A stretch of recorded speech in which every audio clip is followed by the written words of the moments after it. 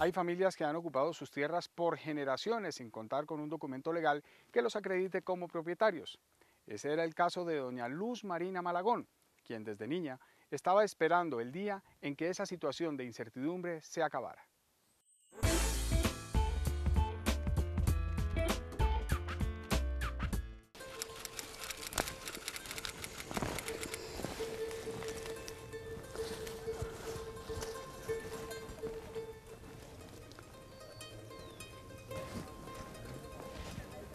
Yo nací acá y vivo acá. En esta finca nací y acá estoy. Tengo cuatro hijos y mi esposo.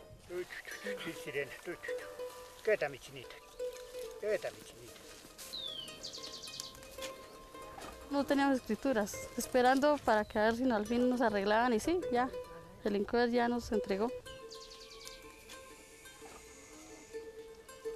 Esa felicidad que uno siente que como que uno no puede ni hablar de la felicidad. Eso es una felicidad muy grande, tener uno ese título, saber de esperar tantos años, desde pequeñita me acuerdo que, que siempre, siempre hablaban de eso y llegó el día en que sí.